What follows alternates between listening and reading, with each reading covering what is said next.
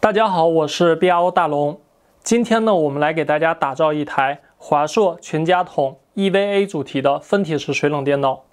提到分体式水冷电脑，在很多玩家印象中都是安装呢比较麻烦的。那我们 BRO 呢，通过多年的分体式水冷安装，积累了大量的经验，在安装方面呢进行了全新的改良，通过水道板的设计，实现了模块化、快速安装。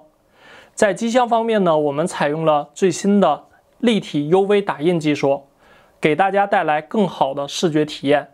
接下来呢，我们就来动手一起打造这台 EVA 分体式水冷电脑。